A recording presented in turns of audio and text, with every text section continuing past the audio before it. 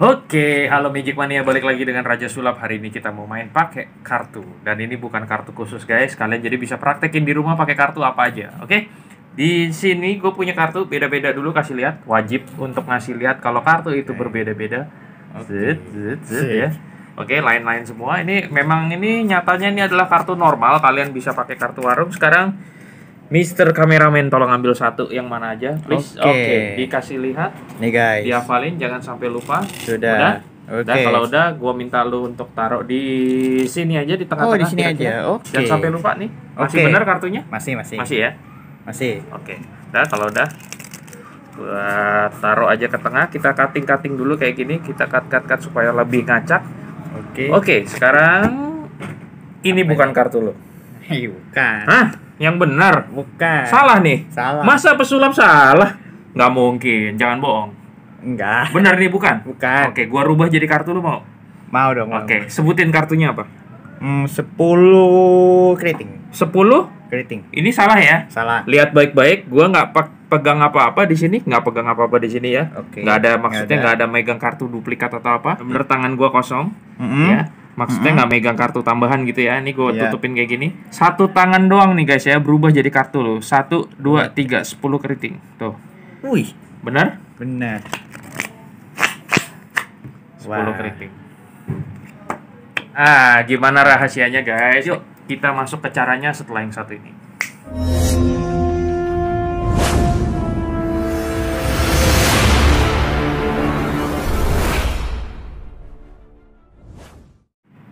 Iya, balik lagi dengan Raja Sulap. Buat kalian yang baru masuk ke dalam channel ini, selamat datang di Raja Sulap. Hari ini kita mau bahas kalau kemarin kemarin kita udah pakai alat-alat sulap, alat-alat khusus, gimmick khusus. Hari ini pakai kartu normal dulu. Kita selang-seling selang-seling ya. Jadi hari ini eh, triknya adalah lebih ke permainan kecepatan tangan, bukan kecepatan sih, lebih ke keterampilan dan kombinasi keterampilan dan kecepatan tangan gitulah ya. Oke, jadi kita minta penonton untuk ambil satu bebas, misalkan ini gitu ya. Dah, dilihat, dihafalin. Misalnya gini. Ini contoh aja yang gue ngasal aja, oke? Kalau udah, kita minta penonton untuk taruh di tengah kayak gini lah. Kalian bagi dua gini ya. Nah, pas dia taruh di tengah, oke guys. Nah, sebelum kita tumpuk nih, ini tumpukan sisanya ini sebelum ditumpuk, ini kalian majuin dulu satu lembar kayak gini. Terus ganjel pakai kelingking. Gini ya ini kartu penonton jadi kita ganjil pakai kelingking sebelum kita kayak begini. Oke sehingga kartu penonton ada di sini gitu ya. Nah setelah kita ganjel ini tapi ingat ya guys ini ngeganjelnya itu kalau dari depan nggak akan kelihatan kayak gini nih. Jadi kalau misalkan cepetnya dari depan kayak gini. Ini kartu kamu ya. Nah gua ketika lagi dorong ini kartu kamu ya. Pas lagi balikin itulah saatnya momen kita akan ganjel dia pakai kelingking ya. Jadi begini ganjel kelingking terus langsung kubur kayak gitu. Nah, ya ini pasti nonjol nih, nonjol parah banget ya. Tapi ingat, penonton lihatnya dari depan. Jadi kalau yang dari penonton ada di kanan gimana, Bang? Tuh, dari kanan parah banget kelihatan, ya kan? Biasanya gua cover atau gua tutupin pakai tangan gua di sini.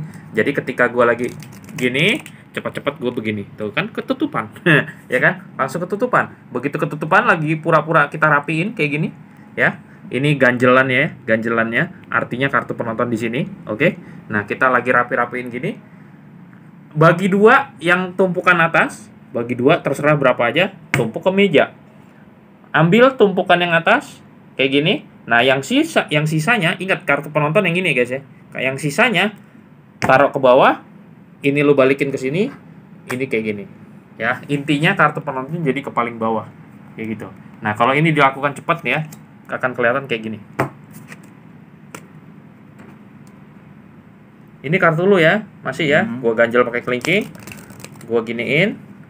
Gua giniin, gua giniin, gua giniin. Nah, tuh. Mabok nggak lu? Lumayan lah ya. Tuh Mhm. intinya kartu penonton jadi di paling bawah. Itu step pertama. Oke, kalau udah gua akan pura-pura bilang, "Oke, gua mau coba cari kartu lu." Nah, pas lagi gini, berarti kan gue jelas-jelas lihat nih kartu penonton yang ini. Gue lihat ini merah atau hitam ya. Kalau kartu dia merah, gue ambil yang hitam. Gunanya apa, guys? Gunanya tuh biar kontras nanti pas berubah tuh berubahnya tuh langsung lain gitu ya. Nih gua coba nih kalau dia kartunya cuma dikit gini, angkanya cuma dua wajib, gua ambil yang 9 yang banyak. Jadi nanti kalau berubah dari 9 jadi dua tuh berubah gitu kelihatan lu jangan ngambil kartunya dia dua lu jangan ngambil tiga hati gitu ngerti nggak maksudnya kalau lu ngambil tiga hati ini tiga hati berubah jadi sini tuh dekat gitu ya kurang jauh kurang kurang kelihatan berubah gitu. Perubahannya kurang kelihatan. Tapi kalau dari 9 jadi dua warnanya dari hitam jadi merah lebih kelihatan. Oke? Setelah kayak gini gue pura-pura ambil ini ini kayaknya kartu lo nih. Terus gue pindahin ke paling bawah. Ini bukan kartu lo Bukan. dia bilang bukan. Waduh nggak mungkin pesulap salah. Nah di sinilah saatnya kita merubah kartu ini jadi kartu penonton ya.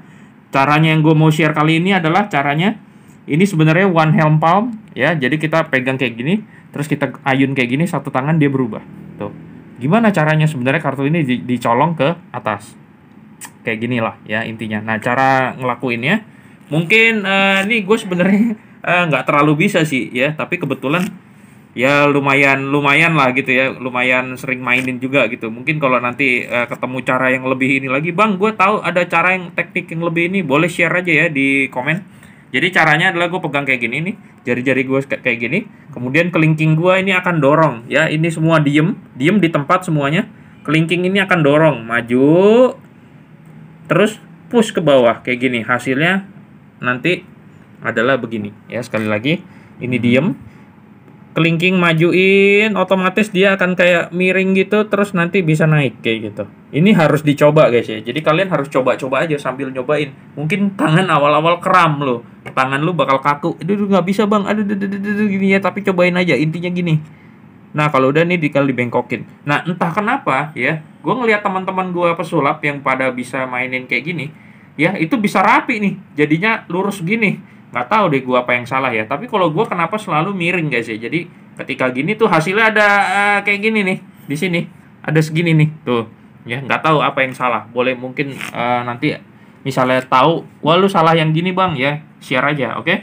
Jadi kalau gue begini, hasilnya gini ya seolah-olah penonton ngelihat ini berubah nah sekarang tangan gua masalahnya ada kartunya penonton nih di sini ya ini ada dua cara kalau lu main di meja kayak gini lu bisa langsung turun gini kelar deh.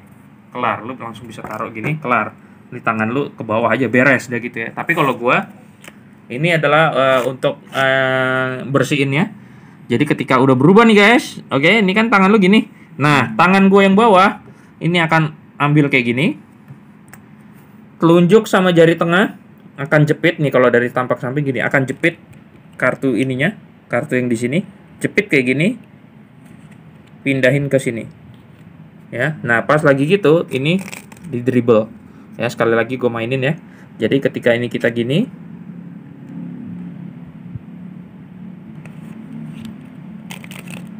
lagi lagi ya. Gitu. Dipelajarin aja harus dicoba. Jadi kalau dari depan ini full ya full full perform ya kayak gini ketika udah berubah nah nih lu, lihat nih kalau 5 jadi 7 kan jelek banget ya. Nih 5 berubah jadi 7 nggak kelihatan berubah gitu. Ya kalau 7 jadi dua juga masih karena sama-sama hitam tuh kurang kurang kontras gitu loh. Nah nih kalau dua jadi 8 bagus nih lihat nih. Apalagi merah. Tuh kelihatan gitu berubah. Tuh kayak gitu. Ngebersihinnya. Mudah-mudahan ngerti mudah-mudahan paham oke jangan lupa subscribe buat yang belum. Kita akan banyak bahas trik-trik sulap lainnya dan gimmick-gimmick sulap serta alat-alat unik lainnya. Terima kasih yang udah nonton. See you next video dan jangan lupa untuk selalu ciptakan keajaiban